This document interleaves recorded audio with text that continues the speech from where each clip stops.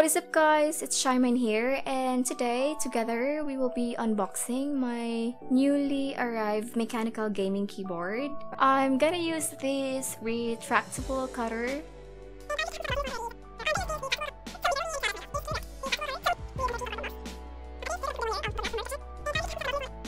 Look how amazing this keyboard look in the picture. This is a brand new keyboard from Redragon and this is the Rahu Gaming Mechanical Keyboard.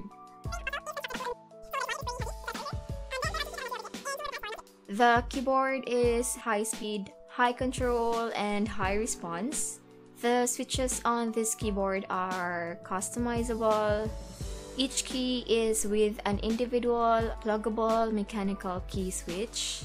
It is a full N-key rollover with 12 multimedia keys gold-plated USB Winlock for no accidental clicks.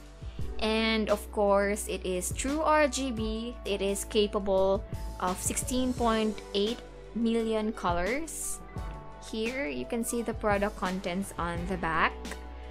High quality LED backlit mechanical gaming keyboard, high precision machinery, manufacturer, double injection keycaps, full key conflict free, spill proof, Win keys can be disabled in gaming.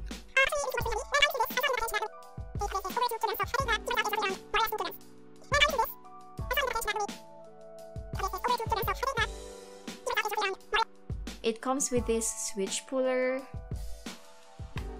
a keycap puller, and I believe these are the locks for the wrist rest. It also comes with detachable wrist rest. I like the honeycomb texture. It adds a nice feel to it. It is made of all plastic and there are also three rubber grips. Um, here's the user manual. We will going to need this for our macros and lighting profile.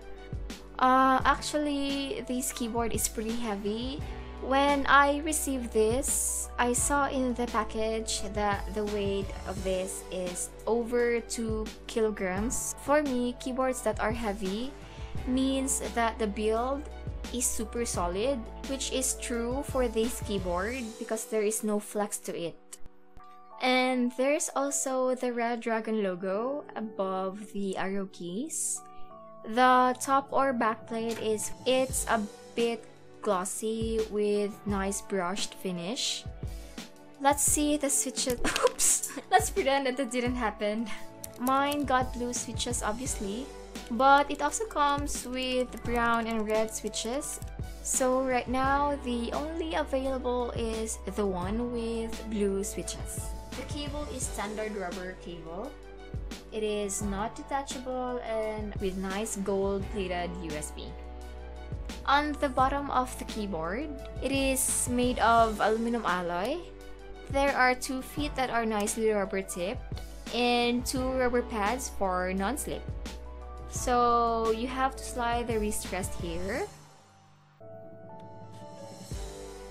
And now you can insert the hand lock screw on both sides. Typing with this is pretty nice, very clicky. I really enjoy the tactile feel of these blue switches.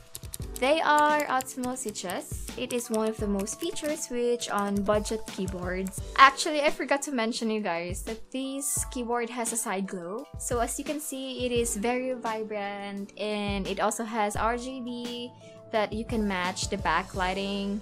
And then there's a nice chamfer on the side of the keyboard, revealing a nice silvery edge so it looks pretty sleek and I really like the design. Please don't forget to subscribe and if you want to help and support the channel, please use my links in the description. Follow me on Twitter and Facebook just for fun. Thank you so much for watching and I hope you guys enjoyed this video. And make sure to hit the like button and subscribe for more videos. Till next time, God bless! Happy New Year!